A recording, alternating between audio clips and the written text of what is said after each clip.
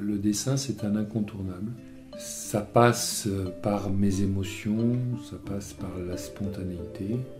Et donc j'ai besoin de ce dessin pour construire une toile.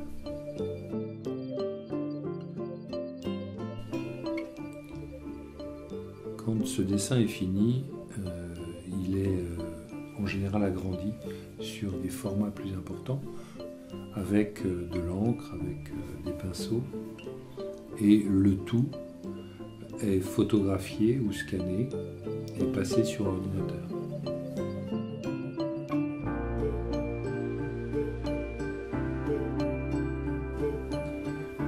Quand je passe sur ordinateur, je vais mêler l'image à la photographie, photographie de voyage, photographie de personnes, photographie d'objets, et qui vont euh, se superposer, se diluer dans le graphisme que j'ai mis au point.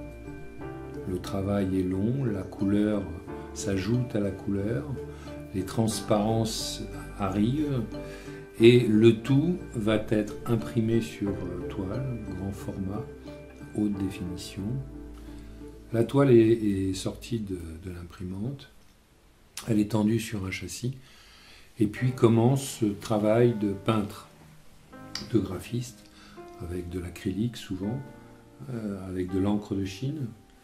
Donc le pinceau intervient, la main intervient pour marquer profondément cette toile, pour la modifier, pour faire qu'elle ait cet aspect euh, final, cette touche finale euh, que je souhaite à, mon travail.